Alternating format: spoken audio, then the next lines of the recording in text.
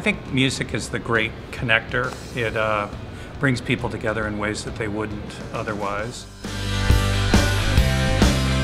Well, I feel like culturally, uh, music in a small city enhances one's life.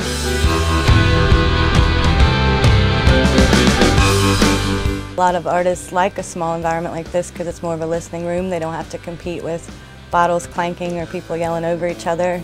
The people who are here are interested in music, period.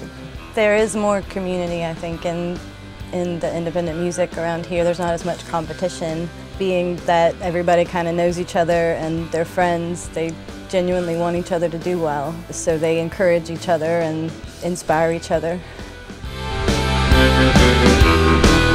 What the Music Lab is doing is sort of pulling out these uh, young, young talented um, musicians and, and highlighting them in a way that maybe in other other cities, small or larger, they get sort of lost. So getting them right into the uh, thick of performance opportunities with these national and international artists, I think is a really golden opportunity for the, for the young musicians in this community.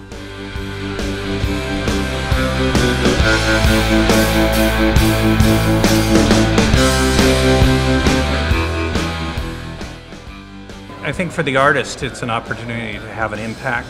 We see artists, musicians moving to New York or LA to pursue their dreams and they're lost in this big shuffle. Uh, in a small city, they can have an impact, they can build a fan base. And it used to matter where musicians were. It used to matter because you wanted a record deal, because you wanted to get on the radio. Now it's about building a fan base via social media, building a live touring base, and that you can do from anywhere.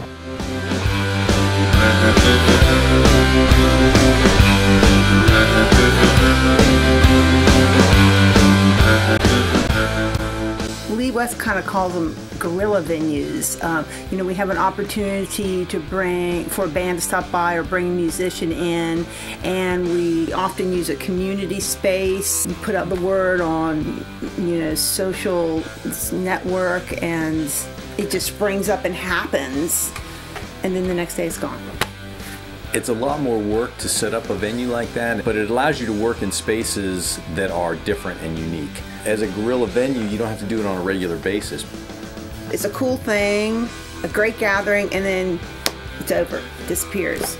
The next day, people walk by and never know there was a big event that happened there. Yeah, we operate a little under the radar.